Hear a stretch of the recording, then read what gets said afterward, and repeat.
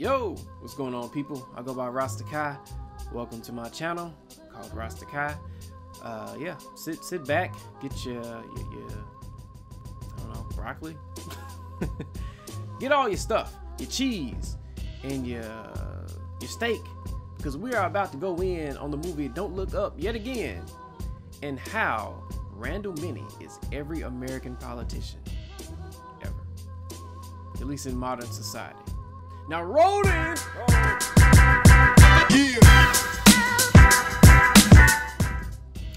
Now, many times what happens with politicians or police officers, well, minority uh, cops or whatever, uh, is that, or just minorities in general that want to change things, they get to a point where they believe that they can possibly change things from the inside, right?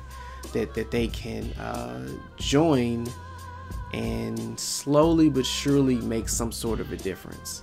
Uh, and this is kind of what happens with, with Randall Mindy. He uh, he gets media training, I guess. You know, he, he uh, he's like on TV doing little commercials and stuff. Uh, he he kind of dials it back, doesn't really take up for his his uh, his partner as, as much as he should have, perhaps. Uh, and he kind of just goes along to get along, you know uh, thinking that maybe things will change, that maybe he can persuade them somehow. He can be the voice of reason. How wrong was he? You know, it, you know. Of course, if you've seen the movie and everything, um, th- this is something that happens. It's like you get people that that want to change things, and they get bombarded or blackballed uh, by the people in power they get just damn near beaten to death, metaphorically, uh, until they become one of them and they become ineffective. And you see this in politics a lot. You you, you see, um, you know, politicians that came in with like a fighting spirit, and slowly but surely they got beaten down. They they they they want to to to no longer be under that pressure. And to some extent, it's understandable, right? Like, who wants to go through that? Who, who wants to feel like the most isolated, hated politician of all time? Know, besides Trump. One of the, the uh, key things that happened to Randall Mindy, and I'm, I'm sure it happens to many other people that go down that kind of a path, uh, is that by by going along to get along or joining the group or whatever, uh, what what often happens is that you you end up taking on some of their toxicity, uh, some of their traits, some of their beliefs, and then you become corrupted by uh, the very people that you were trying to change.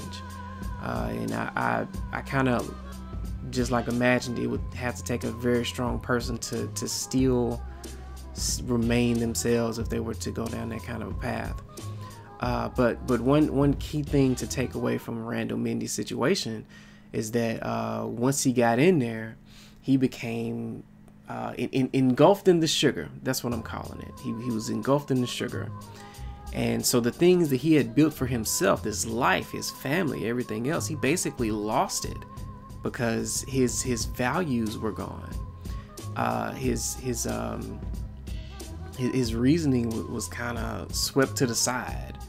So he was willing to get to, to lose his his wife uh, for that whole situation. He, he got lost in, in, in all of it. Uh, and it, it sucks that that's the reality that like a lot of people deal with, but it is.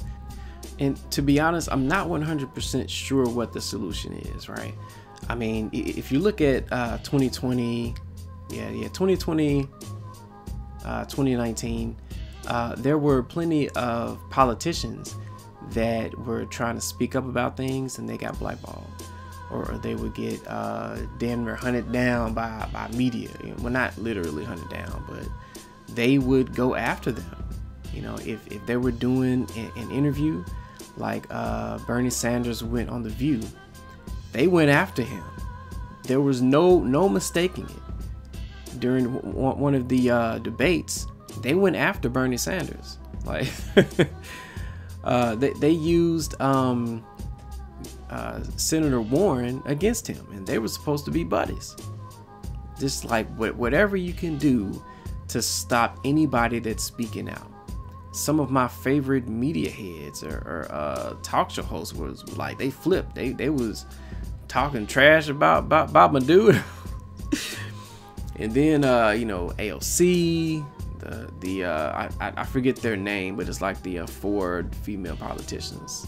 Um, anybody that's speaking truth to power, they're coming for you, basically.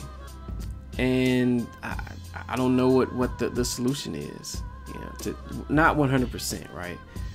Obviously, hold your ground. You know, just remain grounded in your beliefs in what you're doing, uh, what you stand for. Many people would say go to war, you know, and remain in war. But in that kind of a situation where you're surrounded by your enemy, you need some kind of pressure from the outside or something, some kind of threat.